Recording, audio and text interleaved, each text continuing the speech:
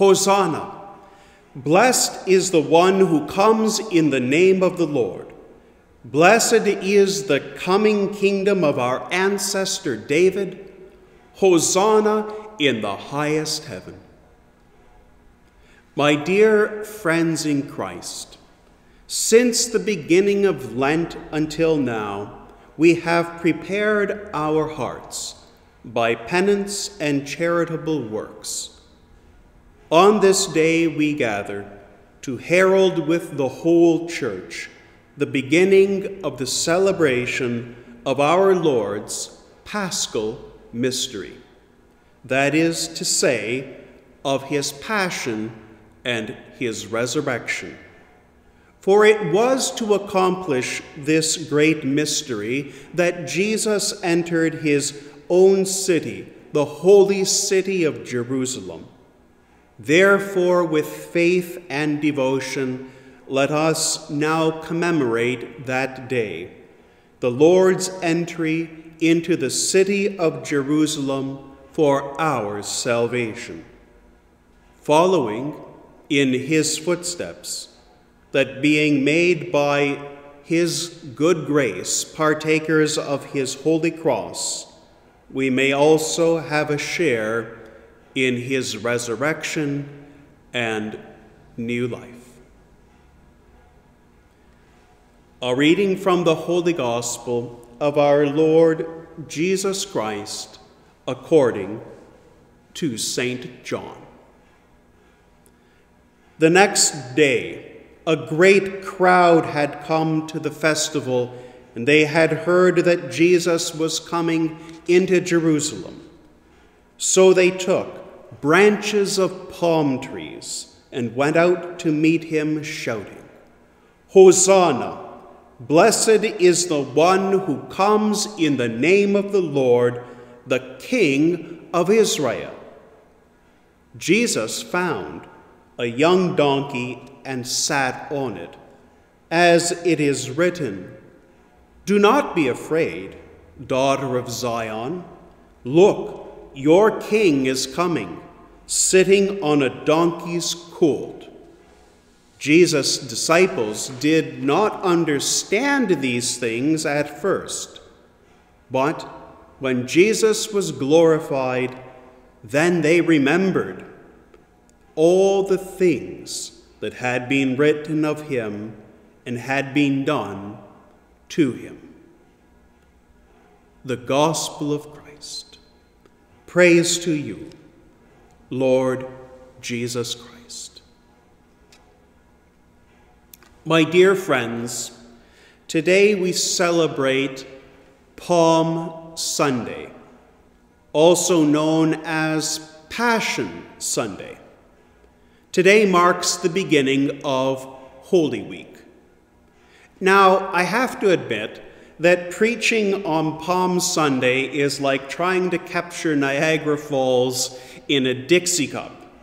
There's way too much stuff going on, so we have to focus and practice reserve. And I'm going to practice reserve today by focusing on one theme, the central theme the passion.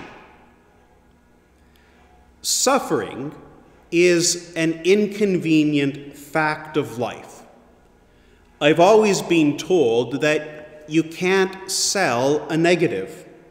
And in our world today, let's be honest, suffering is one of those unsellable negatives. Our world doesn't like suffering and uncertainty. But at the same time, suffering and uncertainty is at the heart of our Christian story of redemption. I mean, really, you can't look at the cross without realizing that suffering is a part of the central message. And the fact that we as a community, when we can gather, gather around an altar, well, that just emphasizes the point even more. In one sense, marketing gurus tell us that you can't sell a negative. And yet, for over 2,000 years, the church has and continues essentially to sell a negative. So, why does the Christian story of suffering endure?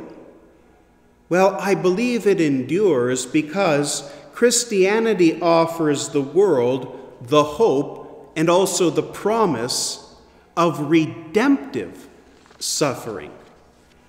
See, we don't sell the idea of meaningless suffering. Christianity is not about pointless suffering.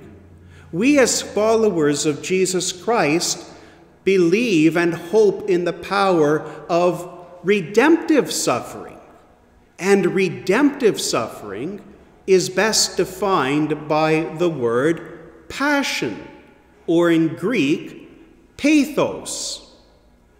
Pathos, passion, means to awaken, to arouse, to evoke deep emotion.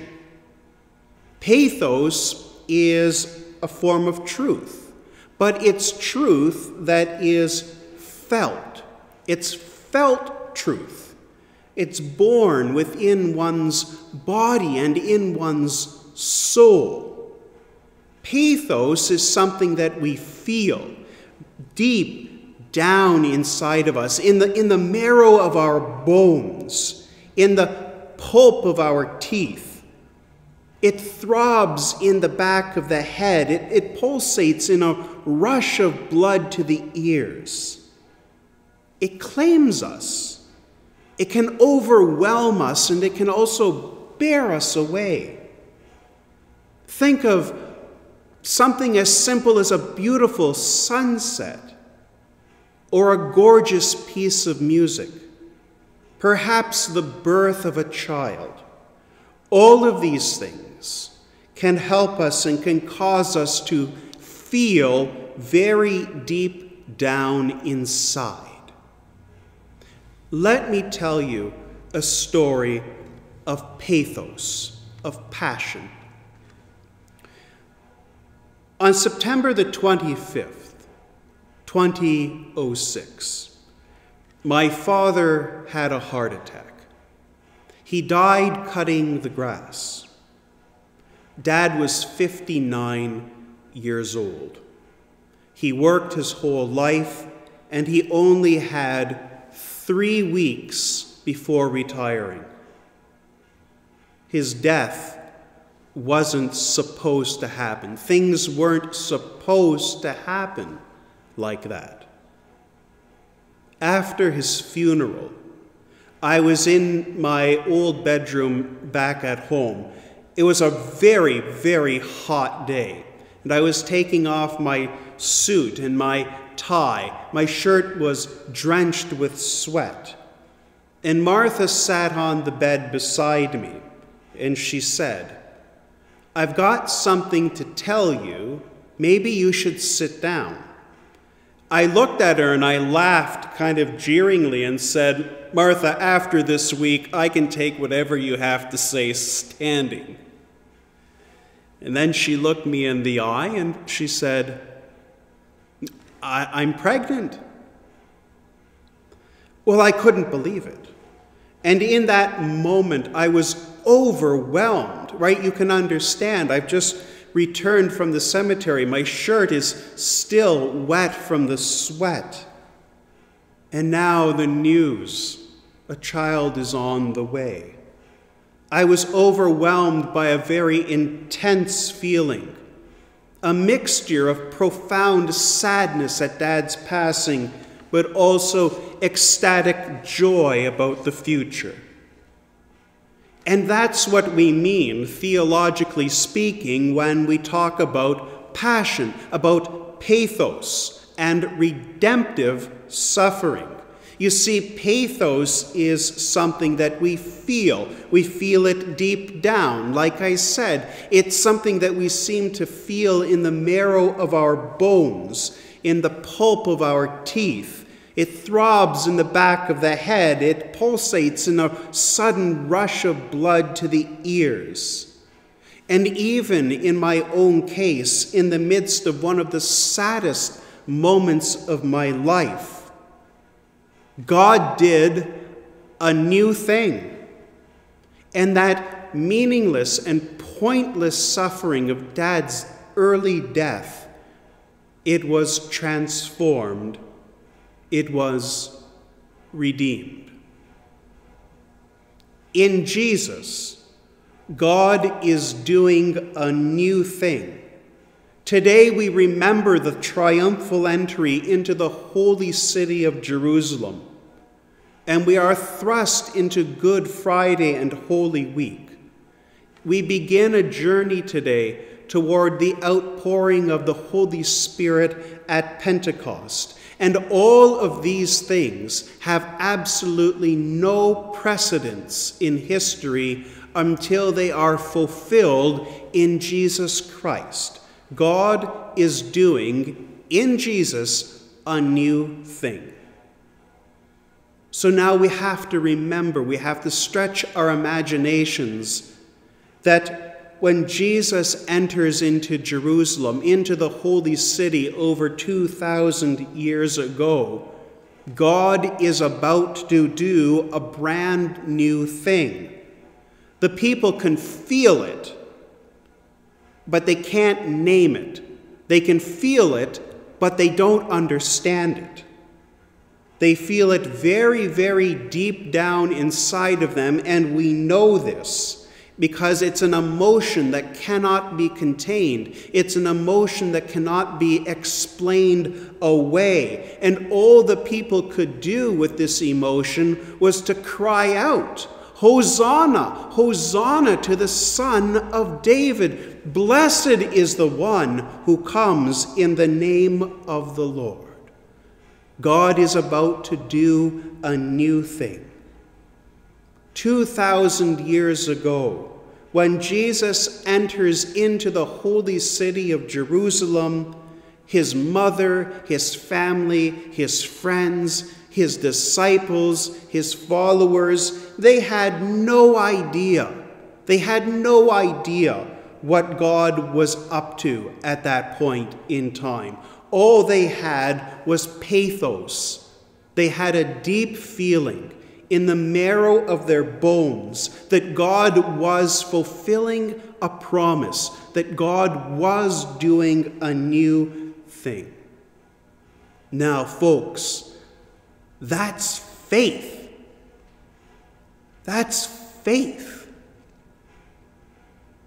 To meet one's death, to face great uncertainty with nothing but a, a deep feeling in the, in the marrow of one's bones, in the throbbing in one's teeth, in the rush of blood to the ears. That's faith.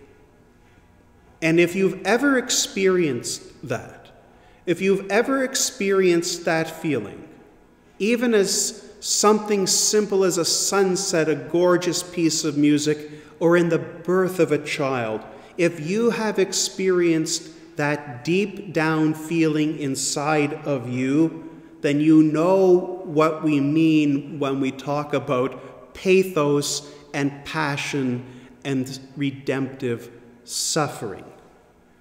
The bearing in one's own body and in one's own soul a truth that cannot be fully understood but it can only be experienced and shouted out, like the people did 2,000 years ago, when they knew but they couldn't explain what God was up to. Hosanna! Hosanna to the Son of David! Blessed is the one who comes in the name of the Lord. Hosanna in the highest. My dear friends, I will be praying with you and for you.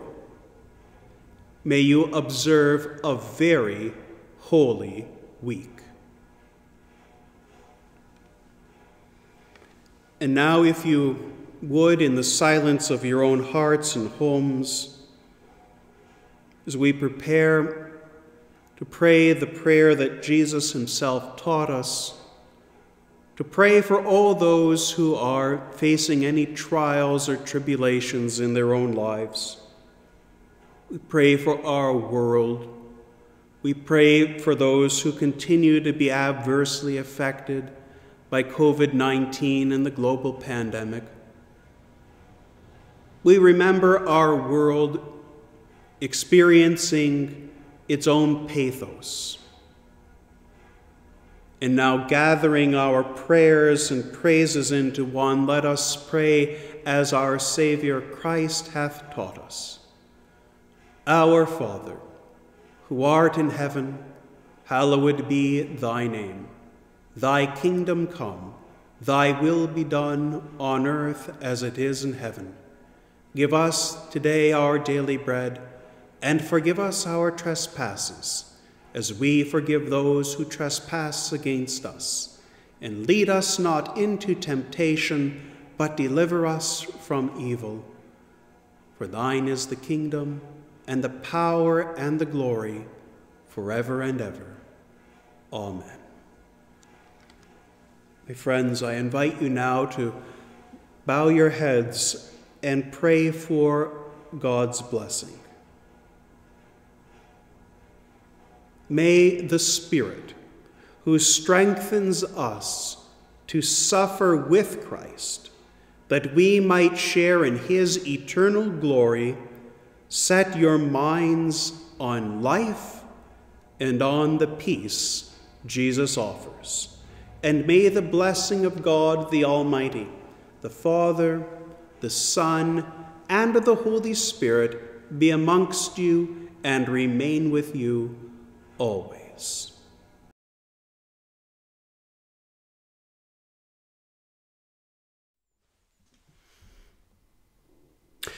I hope that you've enjoyed today's service as much as I enjoyed putting it together.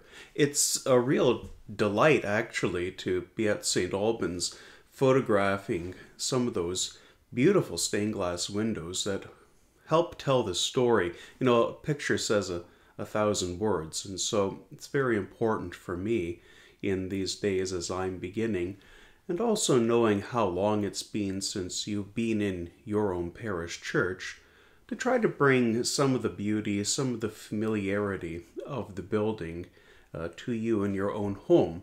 So I hope that it's it's helpful to take both the message and some of those beautiful artistic features and bring them together. What I really wanted to say today was uh, to offer you some encouragement as we are going into Holy Week, that there will be continual opportunities for you to join your community online during these upcoming and holy days. For example, on Maundy Thursday, I will be joining Martha Tatarnic, my wife, at St. George's Anglican Church for a service of Holy Communion on Maundy Thursday. And invitation is extended for you to also tune in and join us from the sanctuary at St. George's on Maundy Thursday in the evening.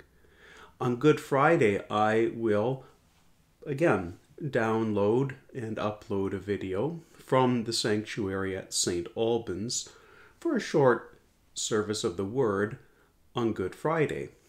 On Holy Saturday, if you wish to join us in the evening, once again, I will be at St. George's and St. Catharines, uh, celebrating the Easter Vigil and Holy Communion at St. George's. Again, feel free to drop in online if that's helpful for you. And the big one, of course, we're all looking forward to is the Easter Sunday celebration, which will uh, air on Easter Sunday morning at about 6 a.m for anybody who wishes to uh, join us at St. Albans for the Easter service. So I hope that all those times, which are going to be included in an email with all of the links, are helpful for you. And I look forward to uh, leading you in worship in this time. And of course, we continue to hope and we continue to pray for a good resolution to the world pandemic and a time when we can all join one another at St. Albans. For me, for the first time with you, and for you, I'm sure, a good time and a long time in coming. So have a holy week, and I will be seeing you online. Thanks, folks. Take care.